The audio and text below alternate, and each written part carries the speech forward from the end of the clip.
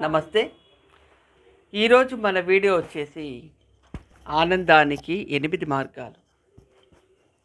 ప్రపంచంలో ప్రతి ఒక్క జీవి అంటే ప్రతి ఒక్కళ్ళు కూడా ఎదురు చూసే దీని గురించి? ఆనందం. ఆనందం అంటే ఏంటి? మనం ఆనందంగా ఎలా బతకాలి? దీని గురించి ఎక్కువగా ప్రతి ఒక్క జీవి ప్రతి ఒక్క హ్యూమన్ బీయింగ్ కూడా ఎదురు చూసేది ఆనందం గురించే. కొంతమందికి ఆనందం అనేది డబ్బుతో ముడిపడి ఉంటుంది. డబ్బు ఉన్నంతకాలం ఆనందంగా ఉంటారు. ఒకవేళ డబ్బు పోతే మళ్ళీ బాధ తిరిగి వస్తుంది. అలా కొంతమందికి ఆనందం అనేది మంచి స్టేటస్ ఒక మంచి పెద్ద ఉద్యోగం మేడలు మిద్దలు కారు ఇలా వీటి మీద ఆశ ఎక్కువ ఉంటుంది. ఇందులోనే ఆనందం వెతుక్కుంటారు. ఒకవేళ అయిపోతే మళ్ళీ ఆనందం పోతుంది. ఇంకొంతమందికి పిల్లల మీద ఎక్కువ ఆనందం ఉంటుంది. అలాగే పిల్లలు పెద్దవాళ్ళే వాళ్ళు మనల్ని విడిచి వెళ్ళిపోతే ఆనందం అలాగే వాళ్ళతో పాటు వెళ్ళిపోతుంది. అంటే ఆనందం అనేది ఒక తాత్కాలికమైన? కానీ మీకు ఒక విషయం చెప్పాలి. అసలైన ఆనందం అనేది మనలోనే ఉంటుంది. ఆ ఆనందాన్ని మనం ఎలాగా కనుక్కోవాలి? మనతో మన చుట్టుపక్కల ప్రపంచాన్ని ఆనందంగా ఎలాగ మర్చుకోవాలనే విషయాన్ని ఇవాళ నేను మీకు వివరంగా చెప్పబోతున్నాను. ఏం లేదండి దానికి సింపుల్గా ఒక ఎనిమిది చిట్కాలు అనమాట ఆ ఎనిమిది చిట్కాలు మనం గనక ఆచరించగలిగితే చాలా సింపుల్ పద్ధతులు అవన్నీ. ఆచరించగలిగితే చాలు ఆనందం ఎక్కడికి వెళ్ళదు. ఆనందం మన చుట్టూనే ఉంటుంది. మనలోనే ఆనందం ఉంది. ఆనందాన్ని వెలికి తీయాలి. అవేంటో ముందుగా మనం ఇప్పుడు చూద్దాం. మొదటిది దయ. దయ అనే గుణాన్ని మనం గనక పెంచుకుంటే గనక దానికి ఎంతో ఆనందం అనేది మనకి దొరుకుతుంది. దయ అందరిలో ఉండేది. అంటే మనకు సమాజం మీద ఉండాలి దయ. మనతో పాటు నివసించే వాళ్ళ మీద ఉండాలి దయ. దయ అంటే కైండ్నెస్ అనమాట వాళ్ళతో మనం స సవ్యంగా మెలగడం. ఇప్పుడు మనం మన సమాజం మీద కానీ మన చుట్టుపక్కల ఉన్న వాళ్ళ మీద కూడా దయ చూపిస్తాము మొక్కల మీద చూపిస్తాము పశువుల మీద చూపిస్తాము. ఒకవేళ ఎవరైనా రోడ్డు దాటడానికి ఇబ్బంది పడుతుంటే ఆ రోడ్డు దాటించడానికి మనం హెల్ప్ చేయడం అది కూడా సమాజానికి మనం చూపించే దయ. ఇలా చేయడంలో మనకుండే ఆనందం మామూలుగా ఉండదండి. ఈ దయ అనేది ఏమవుతుందంటే మనలో మనం పెంచుకుంటే కనుక మనకి ఎటువంటి గొడవలు ఎవరితోటి విభేదాలు అనేవి చాలా తక్కువ వస్తాయి. సో ఇప్పుడు మనం దయ అనే ఒక గుణం గురించి తెలుసుకున్నాం కదండి. తర్వాత గుణం వచ్చేసి క్షాంతి. క్షాంతి అంటే ఏంటంటే మనము అది ఓర్పుగా ఉండగలడం. అంటే టాలరెన్స్ కానీ లేకపోతే భరించే శక్తి ఉండగలడం. తట్టుకోగలగడం అయి ఉండొచ్చు అనమాట అంటే ఉదాహరణకి ఇప్పుడు చెప్తాను మనకి ప్రతిరోజు అది సజావుగా సాగదండి. ఒకరోజు ఒక కష్టం ఉండొచ్చు ఇంకో రోజు సుఖం ఉండొచ్చు. ఏదన్నా ఒక యాక్సిడెంట్ అయ్యి ఏదైనా ప్రమాదం జరిగి ఉండొచ్చు లేదా మొత్తం డబ్బులన్నీ పోగొట్టుకొని ఒక పేదరికం అనేది రావచ్చు. అన్ని రోజులు పూలబాట అయి ఉంటుంది ఈ గుణం ఏంటంటే ఒకవేళ మనకి ఏదైనా అలాంటి అలా ఏమన్నా జరిగినప్పుడు ఒక కష్టం ఏదైనా జరిగినప్పుడు మనలో మనము ఆ కష్టాన్ని తట్టుకునే శక్తిని పెంచుకునే దాన్ని క్షాంతి అంటారన్నమాట. ఓకేనా? అంటే మనకి ఏ కష్టం వచ్చినా కూడా ఎదుర్కొనే శక్తి ఉండాలి. కొంత కొన్ని కొన్నిసార్లు ఏం జరుగుతుందంటే ఇప్పుడు ఏది జరిగినా కూడా ఒక నెగిటివ్ అనేది ఏది జరిగినా కూడా అన్నీ నాకే జరుగుతాయి. ప్రతి ఒక్కటి నాకే ఇలా జరుగుతుంది నాకే ఉద్యోగం పోతుంది నాకే ఇలాగా కాలు విరుగుతుందని ప్రతి ఒక్క చిన్న విషయానికి కూడా మనం దాని గురించి ఎక్కువగా ఆలోచించి మన మనసుని పాడు చేసుకోవడం అనేది దానికి సంబంధించింది అనమాట ఇది.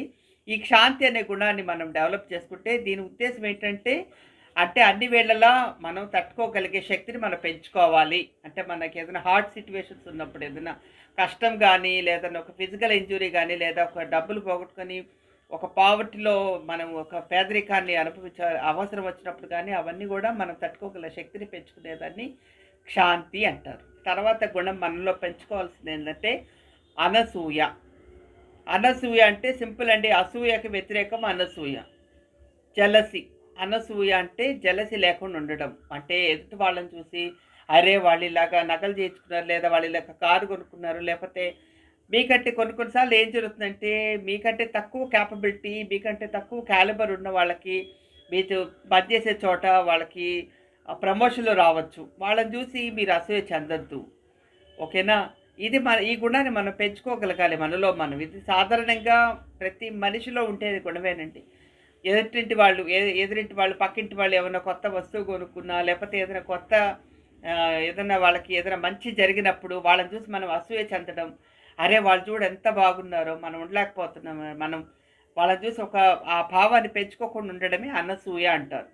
ఇది కూడా తప్పకుండా మనలో మనము నేర్చుకోవాల్సిన ఒక గుణం. తర్వాత గుణం మనలో మనం పెంచుకోవాల్సింది అంటే సౌచ్యం శౌచం అంటే శుచి శుభ్రత ఇదనమాట ఇది కూడా మనకి ఆనందాన్ని ఇస్తుంది. ఎలాగంటారు? ఇప్పుడు మనం ఏదైనా ఒక ఒక పర్సన్ని కలిసాము వాళ్ళని ఒకవేళ వాళ్ళు కనుక నీట్గా లేకుండా వాళ్ళ చుట్టుపక్కల వాతావరణం అంతా కూడా ఒకవేళ మనం క్లీన్గా లేకుండా శుభ్రత లేకుండా ఉంటే కనుక మనకి ఎలా అనిపిస్తుంది? మనం ఆనందంగా ఉండలేము మనం చూసి అరే ఏంటి ఇది?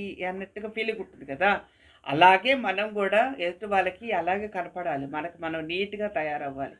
ప్రతిరోజు స్నానం చేయాలి. శుభ్రత అనేది మన ఇంటి చుట్టుపక్కల వాతావరణాన్ని మనం శుభ్రంగా ఉంచుకుంటే పరిశుభ్రతే మన దైవత్వంతో సమానం అంటారు కొంతమంది. అక్కడ దేవుడు ఉంటారంటారు. అందుకని శుభ్రంగా ఉంచుకోవటం.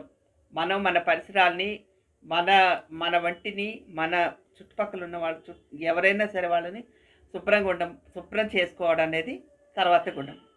ఓకే ఇప్పుడు మనం శౌచం గురించి తెలుసుకున్నాం కదండి. తర్వాతది వచ్చేసి అనాయాసం. అనాయాసం అంటే ఆయాసానికి వ్యతిరేక పదం అనుకోవద్దు. ఇదేంటంటే స్ట్రెస్ ఫ్రీ అనమాట లైట్గా ఉండండి. ప్రతి దానికి టెన్షన్ పడద్దు. కొంతమంది ఎలా ఫీల్ అవుతారంటే ఈ ప్రపంచంలో భూమి భారం అంతా కూడా మనమే మోస్తున్నంత లెవెల్లో ఫీల్ అయిపోతుంటారు. అంత హడావిడొద్దు. నిదానంగా చేసుకోవచ్చు అన్నీ. ఎక్కువ టెన్షన్ పడకండి. టెన్షన్ లేకుండా ఈ గుణాన్ని కూడా పెంచుకోవాలి ఆనందం కోసం కొన్ని సందర్భాల్లో ప్రతి ప్రతి ఇంట్లో ఉంటారండి ఇలాంటి వ్యక్తులు. ఇప్పుడు మనం ఏదైనా ఒక ట్రైన్ ఎక్కాలి రైల్వే స్టేషన్కి వెళ్ళాలి. హడాడు హడావుడు చేస్తారు. ట్రైన్ వెళ్ళిపోతున్నాం ఆ లగేజ్ ఎత్తి ఈ లగేజ్ ఎత్తి వాళ్ళ మీద అరిచి వీళ్ళ మీద అరిచి. ఇలా అంతా వద్దు. మనం కనుక కరెక్ట్ టైంలో అన్నీ చేసుకోగలిగితే టైంకి అన్నీ సెట్ అయిపోతాయి. ఫ్రీగా చేసుకోండి టెన్షన్ లేకుండా. ఓకేనా? భూమి బా మనమే అంతా బరువంతా మోస్తున్న ఫీలింగ్ ఏం పెట్టుకోకుండా మనలాగే చుట్టుపక్కల ప్రపంచం అంతా కూడా ఉంది అనుకొని కొంచెం నిదానంగా ప్రశాంతంగా గడపడమే. ఈ క్వాలిటీని అనాయాసం అంటారు. నెక్స్ట్ క్వాలిటీ మనలో మనం బిల్డ్ చేసుకోవాల్సింది వచ్చేసి మంగళం. మంగళం ఆ పదంలోనే అర్థం ఉంది కదంటే ఒక శుభం ఒక శుభకరం. మాకు హ్యాపీనెస్ని మనం మన చుట్టుపక్కల ఉండే వాళ్ళకి పంచడం అంతే. మనల్ని చూస్తే మనల్ని పలకరి మనం ఉన్న పలకరించిన మన పలకరింపు కోసం ఎదురు చూసేలాగా ఉండాలి అవతల వాళ్ళు మనం చూడగానే అరే వీళ్ళతో ఎప్పుడెప్పుడు గడపాలి వీళ్ళతో ఎప్పుడెప్పుడు మనం మాట్లాడాలని అనిపించేలాగా మనం ప్రదర్శించడమే మంగళం. అంటే మన చుట్టూ ఉండే వాళ్ళకి ఒక పాజిటివ్ వైబ్ని క్రియేట్ చేయడం.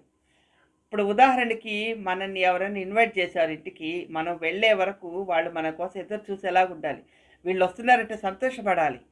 అలాగే ఎప్పుడైనా ఎవరైనా చుట్టాలని కలిసినా మనకి అరే ఆ చుట్టాలతో మనం మాట్లాడాలి మన పక్కకు వచ్చి మాట్లాడేలాగా మన క్యారెక్టర్ మనం బిల్డప్ చేసుకోవాలి.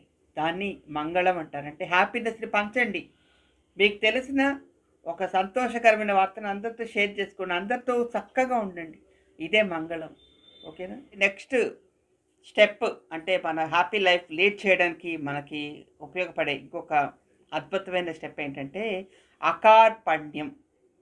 అకార్పణ్యం అంటే ఏంటంటే ఇప్పుడు మనని మనం కించపరచుకోవడం మనని మనం తక్కువ చేసుకోవడం మనకి మనకే మొహం ముసుగు వేసుకోవడం. అంటే ఇప్పుడు ఒకవేళ మనం ఏదైనా ఒక విషయం చెప్పేటప్పుడు దానికి మనకి ఆ దాని గురించి పూర్తిగా అవగాహన ఉన్నా కూడా మాట్లాడలేకపోవడం. అరే ఏమని అనుకుంటారేమో అని మొహమాటం అని కాదు. అంటే మనని మనను ఏ ఎందుకులే మనం ఎందుకులే అక్కడ మన మాట ఎందుకులే అక్కడ అనేది అకార్పణ్యం.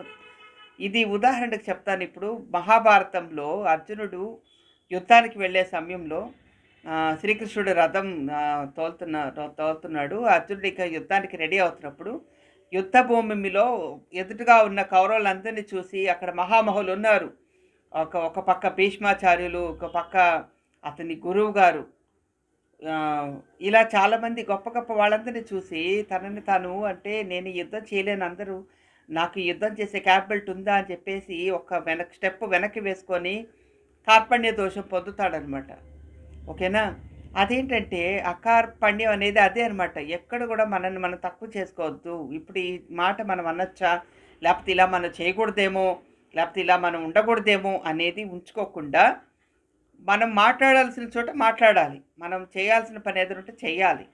దానిని అక్కడ మనం చేయకుండా దాన్ని దాన్ని వెనక్కి వచ్చేయడం అనేది ఆ గుణం ఉండకూడదు. అలా కూడా మనం బాధపడతాం. అరే అప్పుడు మనం ఇది చేస్తుంటే బాగుండేదే అనే తర్వాత ఆలోచించుకొని బాధపడకుండా ఈ అకార్పణ్యం అనే ఒక గుణాన్ని కూడా మళ్ళీ మనం పెంచుకోవాలి. ఓకే? ఇక చివరి గుణం అస్పృహ. ఈ అస్పృహ అంటే ఏంటంటే డిటాచ్మెంట్. అంటే ఇప్పుడు మనము ఎన్నెన్నో మనకి కోరికలు ఉంటాయి. ఒక వస్తువు మీద కావచ్చు ఆశలు ఒక ఏదైనా ఒక వ్యక్తి మీద కావచ్చు మమకారం పెంచేసుకుంటాం. ఒకవేళ వాళ్ళు కానీ ఆ వస్తువు కానీ మనకు దూరమైనప్పుడు దాంతో మనం పడే బాధ మామూలుగా ఉండదు. కొంత ఇప్పుడు ఒకవేళ మనమే ఒక ఒక ఒక ఐదు లక్షలకి ఒక మంచి బంగారు గొలుసు ఏదో చేయించుకున్నాం. ఒకవేళ అది ఉన్నట్టుండి అది పోయింది అనుకోండి దాని తర్వాత దాంతో ఉన్న మమకారాన్ని మనని బాధకి గురి చేస్తుంది. అందుకని ఏ వస్తువు మీదైనా సరే ఎవరి మీదైనా సరే ఆ- ఆ మమకారం ఆ అభిమానం అనేది హద్దులు దాటి ఎక్కువగా పెంచుకోకండి. ఆ తర్వాత బాధపడేది మనమే. ఆ వస్తువు పైన ఆ వ్యక్తి మనకు దూరమైనా కూడా. ఓకేనా? సో ఇవ్వండి నేను చెప్పాలనుకున్న ఎయిట్ స్టెప్స్ ఒక హ్యాపీ లైఫ్ లీడ్ చేయడానికి. ఇవన్నీ కూడా నేను కొన్ని వెబ్సైట్స్ కావచ్చు లేదా కొన్ని యూట్యూబ్ ఛానల్స్ కావచ్చు చూసి వాటి ద్వారా ఇన్ఫర్మేషన్ నా పద్ధతిలో నేను చెప్పడానికి ప్రయత్నిస్తున్నాను. ఇవన్నీ కూడా మన పెద్దవాళ్ళు చెప్పిన విషయాలే. మన మహామహా ఋషులు ఎవరో తాళపత్ర గ్రంథాలు ఏదో కొన్ని వేదాలు ఏవో ఉంటాయి కదండి వాటిలో వాటిలో మనకి మనకి జీవితాన్ని సాఫీగా ఆనందంగా గడపడానికి చెప్పిన విషయాలే. మీతో ఈరోజు నేను షేర్ చేసుకుంటున్నాను. మీరు అనుకోవచ్చు మనమే ఇప్పుడు ఋషులు కాదు కదా ఋషులంటే మహామహులు అన్నీ వదిలేసుకొని హిమాలయ పర్వతాలకు అక్కడికి వెళ్ళి తపస్సు చేసి వాళ్ళు ఎంతో జ్ఞానాన్ని సంపాదించి వాళ్ళ జీవితాన్ని సాధించారు. మనకి ఇప్పుడు అవన్నీ అవసరమా అనుకోవచ్చు. కానీ ఎస్ కానీ ఇప్పుడు మనం అవన్నీ కూడా మనం అవలంబించుకోవాలి. ఆ క్వాలిటీస్ అన్నీ కూడా. ఎందుకంటే ఇప్పుడుండే సమాజంలో ఇలాంటి ఒక ఒక లైఫ్ స్టైల్ మనం అలవాటు చేసుకుంటే కనుక మనం త- తర్వాత తరాలకి ఈ ఆనందం అంటే ఆనందానికి అర్థాన్ని మనం తెలియపరిచిన వాళ్ళం అవుతాం. సో లైక్ ఈ విషయం మీతో చర్చించుకోవడానికి నేను ఎంతో సంతోషిస్తున్నాను. ఇంకా ఇలాంటి వీడియోస్ మీకు నా నుంచి రావాలనుకుంటే దయచేసి మా ఛానల్ని సబ్స్క్రైబ్ చేసుకోండి లైక్ చేయండి షేర్ చేయండి. ఓకేనా? ఉంటాను సార్.